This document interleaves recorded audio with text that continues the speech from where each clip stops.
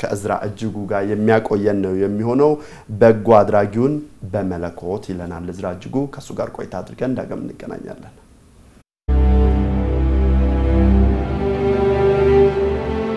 አቶ በመለኮት ተዋህደ ከ43 ዓመት ቀደም ብሎ አዲስ አበባ ለቆ ሲወጣ ገና 20 ዓመት እንኳን አልሞላውም ነበረ። ደርግ ስልጣን ላይ ተቆናጦ ገና ሁለት ዓመቱን ባስቆጠረ ማግስት የአገሪቱ የሰላም ሁኔታ ተንጦ በነበረበት ጊዜ ወጣት በመለኮት ተዋህደ የህይወት ዕጣ ፋንታዬ ምን ይሆን ሲል አሰብ አደረገ።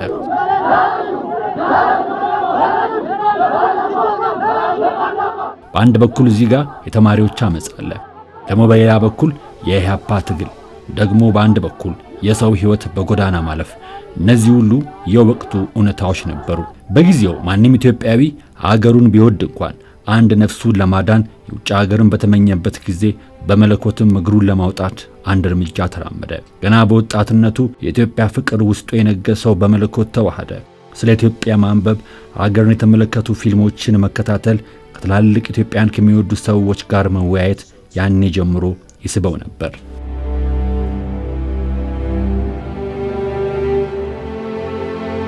የቀብና ሰፈሩ በመለኮት ተዋህደ አንደኛ ደረጃ ኪዳነ ምሕረት የተማረው ታዳጊ በመለኮት የጀነራል ዊንጌት ትምህርት ቤት ትዝታውን እንደያዘ ያቺ የሚወዳትን ኢትዮጵያን ልቡ ላይ እንዳስቀመጠ የሀገር ባለውለታ አባቱን የፊት አውራሪ ተዋህደ ወልደየስን የአባት አደራ ተሸክሞ ባህር ማዶ ዘለቀ።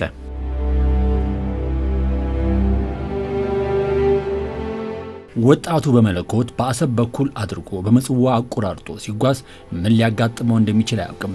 ይሁንና መርከብ ላይ የመስራት እድል አግኝቶ ከመርከብ ጋር ለመጀመሪያ ጊዜ ትውውቅን ፈጠረ። በመለኮት ገና የመርከብ ስራን አሃዱ እንዳለ መርከቧ ላይ የመሰበር አደጋ ገጠመ።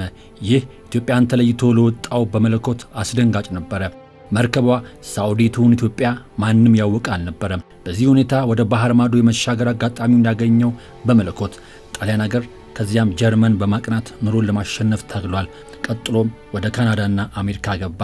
ትምህርቱን በመማር ገንዘቡን በማጠራቀም ራሱን ሰው ለማድረግ የተቻለውን ጥረት አድርጓል። ታዲያ ኑሮውን አርባ ዓመታት ያህል ባህር ማዶ የመሠረተው በመለኮት ከሀገር ቤት ሲወጣ አንድ አደራ በቃል ኪዳን መልክ ተረክቦ ነበረ። የኢትዮጵያ ነገር አደራ የሚል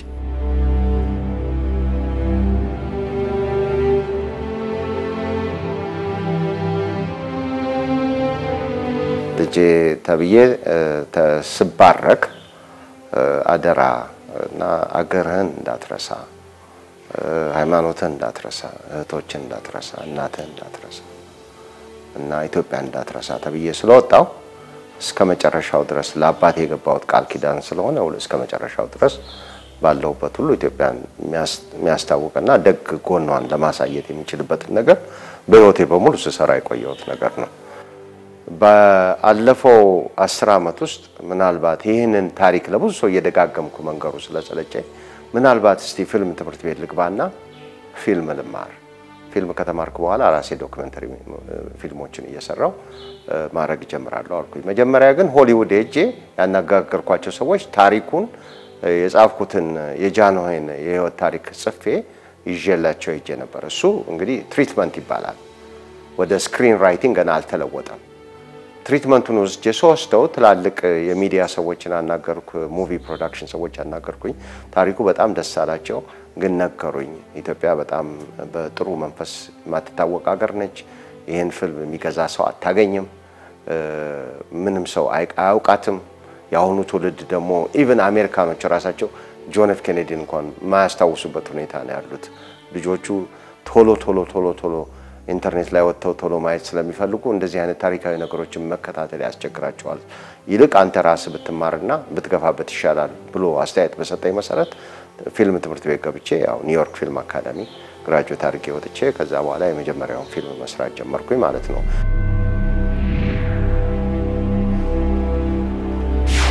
I was interested in the subject because my father was a governor of the region uh, where this university was established. ኢትዮጵያን በጥሩ መንፈስ ለማራመድ የመጀመሪያ ፊልም የሰራሁት አሜሪካኖች ኢትዮጵያ መጥተው እንዴት የሐረር መምህራን ማሰልጠኛ እንደመሰረቱት፣ እንዴት የደብረ ብርሃንን መምህራን ማሰልጠኛ እንደመሰረቱት፣ ከዛ ቀጥሎ ደግሞ የአለማያ ኮሌጅን የዛን ጊዜ ኢምፔሪያል አግሪካልቸራል ስኩል አለማያ ኢምፔሪያል አግሪካልቸራል ኮሌጅ ነበር የሚባለው። በኦክላሆማ ስቴት ዩኒቨርሲቲ ደጋፊነት በእነሱ ሞግዚትነት የተቋቋመ ትምህርት ቤት ነው። ግማሹ አብዛኛው ክፍያው ከኢትዮጵያ ነው የመጣው። እውቀቱ የመጣው ከአሜሪካን ነው። ያ ዩኒቨርሲቲ እንደሱ ነው build የተደረገው። ሁሉም ነገር በነፃ አልመጣም። የዛን ጊዜ ኢትዮጵያኖች በጣም ኩሩ ስለነበር ራሳችንን እንከፍላለን ነው የምንለው እንጂ በነፃ ሁሉን ነገር የመቀበልና ይህን መጽዋት ተቀባይነት መንፈስም አልነበረም በዛን ጊዜ። ስለዚህ ኩሩ ስለነበረ ህዝቡ ከፍሎ ለአሜሪካን እዚህ መጥተው ይህን ትምህርት ቤቶች እንዲያቋቋሙ አደረጉ እና የኢትዮጵያን ለመርዳት የሚለው መንፈስ ከልጅነታችን ጀምሮ አብሮኝ ያለና ጨርሶ አንድ ቀንም ተለይቶኝ የማያውቅ ነገር ነው።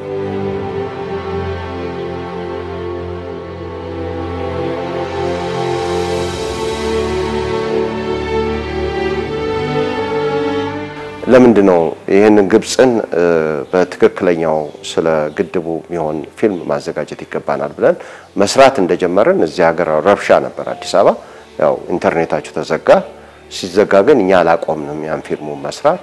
ፊልሙን ጨርሰን የግብጾቹን አይቼ ከግብጾቹ ጋር ሲወዳደር በፍጹም የግብጾቹ ብዙ ገንዘብን ቢያጠፉበትም ፊልማቸው ያው ኢትዮጵያን የሚነቅፍና ያላቅማቸው የሚንጠራሩ ሰዎች ናቸው ብሎ የማኩረፍ የማልቀስ አይነት ስሜት ያለው ፊልም ስለሆነ እሱን ለውጠን ወደ ደስታ ወደ celebration ግብፅም የምትጠቀምበትን ሱዳንም የምትጠቀምበትም ኢትዮጵያ የምትጠቀምበትም ሁላችንም በወንድማማችነት እና በእህትማማችነት ከፍ የምንልበትን ፊልም ለመስራት ወሰንን።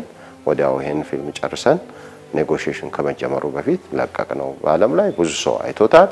እግዚአብሔር ይመስገን ብዙ የውጭ ጉዳይ ሚኒስትሩም የኢትዮጵያ ይጠቀምበታል። ብዙ ሰዎች ልከውልኛል፣ እንደሚጠቀሙበት ሰምቻለሁ። በጣም ደስ ብሎኛል።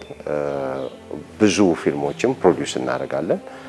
ኢትዮጵያን የሚጠቅም ነገርና ወደፊት ሊያስኬዳት የሚችል ምክንያቱም ይሄ ግድብ አሁን ገና መሰራት መጀመሩ ነው። ገና ብዙ ጣጣ ውረድ አለው። ከዚህ የበለጠ ነው። አሁን ዋናው ስራው የሚጀምረው አሁን ነው እና እንዴት አድርገን ነው ይህን ግድብ እስከ መጨረሻው ድረስ አስጨርሰን በትክክል distribution method ኡ ተደርጎ በትክክል substation ኦቹ ተቋቁሞ በትክክል ኤሌክትሪኩ እየተቆጠረ በትክክል ለኢትዮጵያ የሚከፈላት የሚሸጣቸውም ሰዎች እነ ሱዳንም እነ ጅቡቲም በትክክል ለኢትዮጵያ የሚገባትን መክፈል ይገባቸዋል። For thousands of years, the peoples of the Horn of Africa have revered the mighty Nile.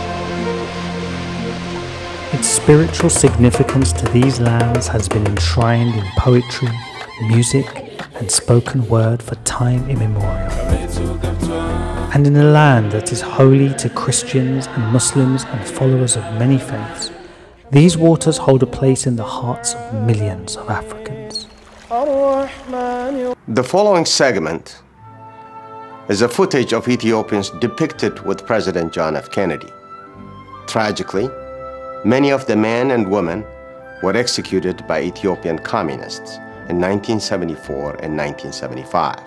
It is also believed that the emperor himself was murdered in 1975. በመለኮት ተዋህደ ሮም በአንድ ቀን እንዳልተገነባች ያምናል። እሱ እንኳን ምንም በእጁ ሳይዝ ከአገር ቤት ወጥቶ ዛሬ አገሩን በአንድ መልክ ለማገዝ እነሆ ከሰሞኑ ኢትዮጵያ መጥቷል። የላይንስ ክለብ አባል እንደመሆኑ የ medical ቡድን አባላትን በማስመጣት አንድ ቁም ነገር እያከናወን እንደሆነ ያስባል።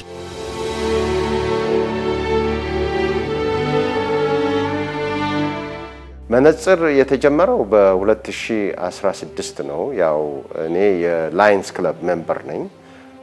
ኮሎራዶ ውስጥ በ26 ዓመት ላይንስ ክለብ ውስጥ አለሁበት እና በየአመቱ ጠይቃለሁ፣ ማመልከቻ አገባለሁ። 2017 እንሞክረው ብለው ምልክት ሰጡኝ ማለት ነው። እስቲ ወደ ኢትዮጵያ እንሄዳለን አሉ። እዛ ሁሉ ነገር አመቻቸውላቸው እስከሚያልቅ ድረስ ግን 2019 ድረስ ፈጀ። 16 ሰዎች ይዘን መጣው። አንድ አምስቱ ስድስቱ ኢትዮጵያውያኖች ናቸው። የተረፉት በሙሉ የኮሎራዶ ሰዎች ናቸው። ይህንንም ደግሞ ያደረግነው ያመጣነው ወደ 6000 የሚሆን መነጽር ዋናው የወሰድንበት ወደ እብናት የምትባል ጎንደር ውስጥ በኃይል የተጎዱ በአይናቸው የተጎዱ ነበሩ። ከዛ በኋላ ማክሰኝት ሰራን፣ ጎንደር ሰራን፣ አክሱም አደረስን፣ ላሊበላ፣ ሻሸመኔ፣ ሸኖ አገረ ሰላም፣ አርባ ምንጭ እነዚህ ቦታዎች ሄደን ወደ 5500 የሚሆን መነጽር አድርገን መርምረን ከዛ በኋላ አዲስ አበባ ተመልሰን መተን አዲስ አበባ ደግሞ ከውስጣችን ደግሞ ግማሾቹ አስተማሪዎች ዩኒቨርሲቲ lecturer ኦች ስለሆኑ ጥቁር አንበሳ፣ ቅዱስ ጳውሎስ እና ሚኒሊክ ሆስፒታል ያሉትን medical ተማሪዎች ስለ ophthalmology፣ ስለ double vision፣ ስለ ተለያዩ ነገሮች ለአንድ ሳምንት ያህል አስተምረን ከዛ በኋላ ተያይዘን ወደ ሀገራችን ተመልሰን ሄድን። እንደገና 2020 አሁን በዚህ አመት መጀመሪያ ላይ መጥቼ ብቻዬን መጥቼ ያው refractor ይዤ መጥቼ ነበር እና ይፋት እና ባህር ዳር እስር ቤት ለእነዚህ ሰዎች የተወሰነ መነጽር ይዤ መጥቼ አከፋፍለናል። ምናልባት ወደ አንድ ሺህ ገደማ ይሆናል። አሁንም ስመጣ መነጽር ይዤ መጥቻለሁ። አሁን እንደውም ከኤርፖርት ከጉምሩክ እያወጣሁ ነው ያለሁት እና ምናልባት 250 የሚሆን ነው። ግን የሚቀጥለው በጣም ብዙ እስከ 10 ሺህ 15 ሺህ ድረስ ለማምጣት ስላሰብኩኝ አሁን ገንዘብ ሚኒስቴር ሄጄ የሚያስፈልገውን ፈቃድ እያወጣው ነው።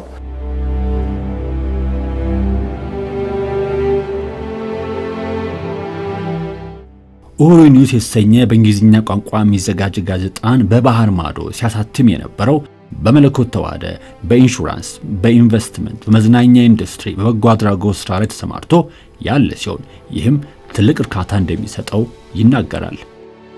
እዛ እያለሁ ስራ ጀመርኩ ማለት ነው። advertising ውስጥ ነበር የምሰራው። የጀርመን ጋዜጣ ነበር። እንደ አጋጣሚ ሆኖ የጀርመን ጋዜጣ community newspaper ነው፣ Deutsche Presse የሚባል ነው። እዛ ተቀጠርኩኝ። እዛ ጥሩ ስራ ሆነልኝ፣ ደሞዜም ጥሩ ሆነ እና commercial ነበር የምሸጠው። በየቦታው እየሄድኩኝ commercial ለመሸጥ ለመጋዚኑ እሸጣለሁ ማለት ነው። ሁለት አመት እዛ ሰራው። በጣም ስራው ስለተስማማኝ የራሴኑ ጋዜጣ ጀመርኩኝ። አለቃይም ረዳኝ። የአፍሪካ ኡሁሩ የሚባል ጋዜጣ ጀመርኩኝ። እሱም ጋዜጣ ጥሩ መሸጥ ጀመረ። ግን እኔ ደግሞ የዛን ጊዜ University of Toronto ገባው። ጋዜጣው በእንግሊዘኛ ነው። ምክንያቱም እኔ የሰራሁት ግን የጋዜጣን ስራ የተማርኩት እንዴት typeset እንደሚደረግ፣ እንዴት commercial እንደሚደረግ፣ sales እንደሚደረግ፣ editorial እንዴት እንደሚደረግ ምናምን በሙሉ የተማርኩት ከጀርመን ጋዜጣ ነው። እነሱ ናቸው አስተማሪ። ሌላ ጀርመን ጋዜጣ ከከፈትኩኝ ከድሮ አለቃዬ ጋር ነው የምፎካከረው። ስለዚህ እሱን ማድረግ አልፈለኩም እና አፍሪካ ብሞክር አፍሪካ አሁን መሰብሰብ ጀምሯል። የኢትዮጵያ ብል ጥቂት ሰው ነው ያለው ግን አፍሪካ ካል ከካሪቢያኖችም ይረዱሃል። የተለያዩ ጥቁሮችም እዛ ያሉ Canadian ጥቁሮችም አሉ እዛው የተወለዱ እነሱ ይረዱኛል በሚል ነው African news ኡሁሩ ኡሁሩ paper ብዬ የጀመርኩት እና ጥሩ ተሸጠ። ግን መጨረሻ ይህን የንግድና ኢንቨስትመንት ስራ ሳገኝ ጋዜጣውን ሸጥኩት። ጋዜጣውን ሸጬ ወደ ኢንቨስትመንት ትምህርት ቤት ገባው ማለት ነው። ጋዜጣው ብዙ ጊዜ ቆየ። ከዛ በኋላ እስከ 15 ዓመት ገደማ ነበረ ይሰራ ነበር። ምክንያቱም community ው አደገ፣ የአፍሪካኖች ብዙ እየመጡ ጀመሩ። እኔ ግን ብዙ ማገኘው የነበረው ቢዝነስ ግን ከጀርመኖቹ ነበር። የጀርመን community ው ነበረ፣ መርሴዲስ፣ አውዲ የመሳሰሉ ያው እንደዚህ አይነት ገንዘብ ያለው ኢትዮጵያዊ ወይም አፍሪካዊ የለም። ግን እኔን ለመርዳት እነሱ ብዙ ኮመርሻል ይሰጡኝ ነበረ።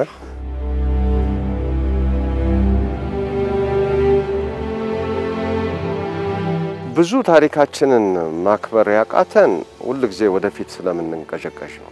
ፈረንጆች ያላቸውን ሽማግሌዎች ሰዎች በጣም በማክበር ነው እዚህ የደረሱት። አሜሪካ ለምሳሌ ጆርጅ ዋሽንግተን ስትል ሁሉ ቦታ ነው ስሙ ተጽፎ የምታየው። ይሄ ሰውዬ በህይወት የሞተው በ1774 ዓመተ ምህረት የሞተ አሜሪካን ነጻ አውጥቶ ጥቂት ዓመት ኖሮ ከዛ የሞተ ሰው ነው። አሜሪካ ነጻ ያወጣችው በ1776 ነው። እንግዲህ የዛሬ 300 ዓመት እስካሁን በየቀኑ ታሪኩ የሚወራው የጆርጅ ዋሽንግተን ነው። ምክንያቱም መሰረቱን የጣልላቸው እሱ ነው። አቶ በመለኮት ተዋህደ ዛሬ ቤተሰብ መስርቶ ወዳጅ ጓደኛ አፍርቶ ኢትዮጵያን ወዶና አፍቅሮ ይችን አገር ለመቀየር ተነስቷል። ታዲያ በዚህ ጊዜ መከባበር እንደዚሁም ፍቅር የነገሰባትን ኢትዮጵያን ይፈልጋል። ይችን ኢትዮጵያ ደግሞ እያገኛት ነው።